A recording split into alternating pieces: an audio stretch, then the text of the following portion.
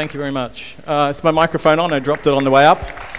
Um, firstly, before I actually start, um, I can't come to a conference about migration as an Australian without acknowledging that the Australian government um, over the last few years has detained thousands of people, including innocent women and children, offshore in detention camps for no other reason than that they sought asylum in our country. And although many have been um, recognised as genuine refugees, um, our government's response has been to lock them up and detain them and to criminalise things like doctors reporting their abuse or the media reporting on the conditions in which they're being held in, in foreign countries on our behalf. So, um, at times, I'm very proud to be an Australian, and I'm going to tell you a good story from Australia today, um, but I'm not proud of that at all.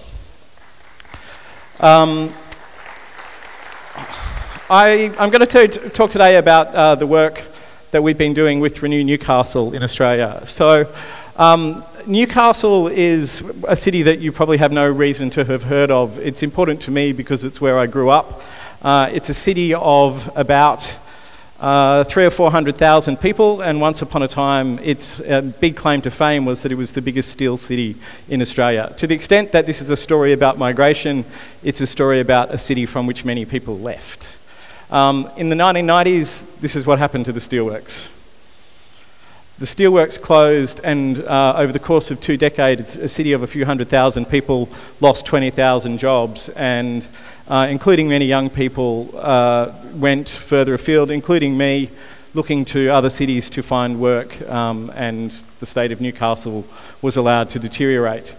Um, the work of Renew Newcastle, Renew Newcastle, began back in 2008 when I went back to my hometown after living in Melbourne for a period of six or seven years and just saw the state of the main street. As I walked down the two main streets of the city, I, I, I took all of these photos on my camera phone that I had at the time boarded up buildings, smashed up buildings, empty spaces, vacant spaces, um, so many buildings and uh, so much wasted potential. Um, I think if you live in a city and that city deteriorates in front of your eyes, it sort of hap- it, happens sort of shop by shop or building by building. Uh, if you go away and come back, it's like it happens in time lapse, like a, a, block that you remember as being very busy and vibrant from when you were there last has suddenly become all boarded up and empty. So this was the state of Newcastle in 2008, and um, uh, I, I, at the time I wrote down the addresses, and then later I came back and mapped out all of the vacant, derelict, and empty buildings in the city.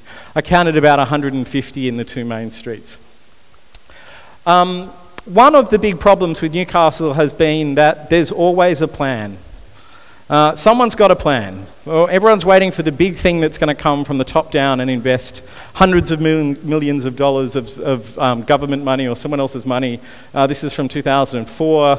I d- I don't know when this is from. There are two, there, for a long time in Newcastle, the biggest industry was architects' impressions of what the city was going to be one day.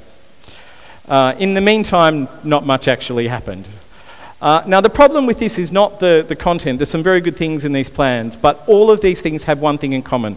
They're all looking at the city from the top down. They're looking at it as something that requires lots of money and investment and resources to come in from outside in order to transform it. I have a running joke that the, um, the large scale revitalisation of Newcastle is two to five years away, and it always will be. It's always going to happen, but it's never happening now. So rather than think in terms of the long term plan and, and what was going to happen two, five, 10, 15 years from now, my obsession was with what was going to happen today, tomorrow, the next day, and the day after that. And to see if we could put together some sort of scheme that could help bring some life and activity back to the city. Um, we started a not for profit company called Renew Newcastle, and the basic principle is that empty spaces are lost opportunities.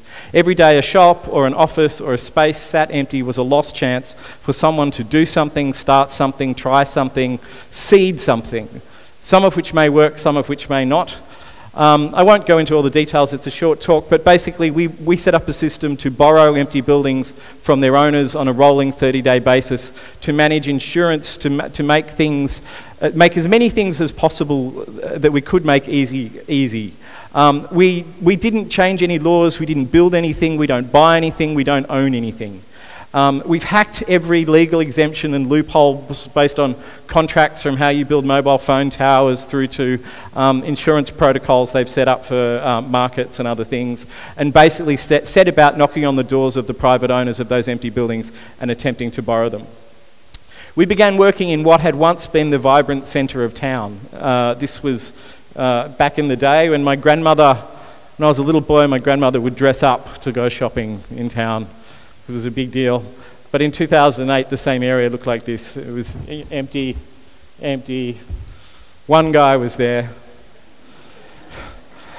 At the beginning of 2009, we entered into a contract with the private owners of our first set of buildings, and then we began the process of going building by building, block by block, street by street, cleaning them up, fixing them up, lending them to people with creative ideas, community projects, and other things so that they could seed their imagination and their ideas into those previously empty spaces.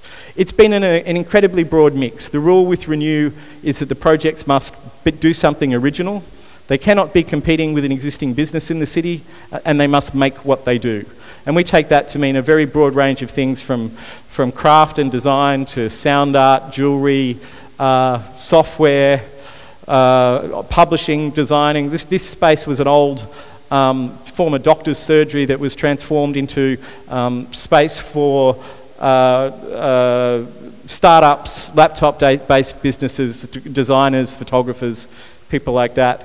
Um, this is the same street uh, that I showed you before where the guy was sitting by himself just six months into the project. We'd gradually begun to open and more and more of these once vacant spaces and use them to seed new projects and new businesses. Um, these guys were running a record label from their bedroom. A lot of our projects are actually people who uh, were already doing something online but didn't have any physical presence. So we started to lend them a shop, we lent them a space, we lent them an office, and we gave them a chance to take what might have been a hobby uh, to another level. This guy's an architect. Uh, I just love this, the, the ceiling is done with uh, fishing net and clothes pegs. Um, just a very simple transformation that space. These were young boys. The youngest was uh, 17 and the oldest was 21 when they came to us. They designed t shirts and skateboards. And they wanted a space where they could uh, sell the t shirts and skateboards that they made. And if you'd asked me back then whether I thought that was going to be a viable business, I would have said probably not and I would have been completely wrong because five years later they are still, they pay, they pay a full commercial lease and they're successfully selling Newcastle designed t shirts and skateboards all around the world. Um, these are the same streets. Uh, this is a great example of the resourcefulness of our projects. This is a co working space. The, this is A grade office space. So the owner said, You cannot put a nail in the wall. No, no, no hippies, no paint, no mess. Um, so everything in that picture is on a trestle table. It can be picked up, it can be moved. The signage in the window um, is actually, the sign that says roost in the back is actually sitting in the windowsill. Um, and that co-working space has supported, was currently supporting 28 separate businesses as well as being a sustainable business in its own right. Just give you a sense of the flavour of the many projects that we've been involved in seeding and supporting over the last few years. Um, that's a very simple transformation just done with um, uh, old drawers. This is an old department store in the centre of the city that had been uh, left vacant for a long time. We built these very simple partitions about five metres back so that we could um, open up the, the old street windows and take this empty block that had been dead and empty and, and uh, bring it back to life. So we made it home to artisans, designers, photographers. Uh, this, these ladies make kids' clothes. Uh, these, uh, this, is, this is how that block has transformed. This is Newcastle in 2013. These are the same streets. It's now, they're now full of independent local businesses. Um, many of our projects have gone on to become viable.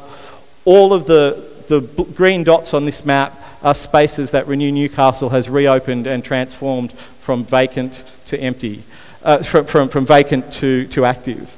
Um, and this is, a, this is a, a, a, a graph of the rate of um, uh, vandalism in the city. It's been declining by 25.56% per year. Over the seven years since Renew Newcastle started. All up, we've done more than 220 projects. We've reopened 79 properties. The vacancy rates in the city have dropped between 60 and 90%. Half a million more tourists visit Newcastle every year. Two of our projects have gone on to buy buildings. There's more than 60 ongoing businesses that have been started and 27 um, that have signed commercial leases. About 20 places around Australia and around the world are using the model that we developed with Renew Newcastle. I'll, I will not dwell on any of these, but these are just photos from different towns and communities across Australia and in some cases internationally where people have been taking vacant space and borrowed space and using it to make things happen. I just want to quickly finish with a couple of, of um, points about what we're trying to do. Renew is not about pop ups, it's not about making things look better, it's not about the buzz or the vibe or any of those things.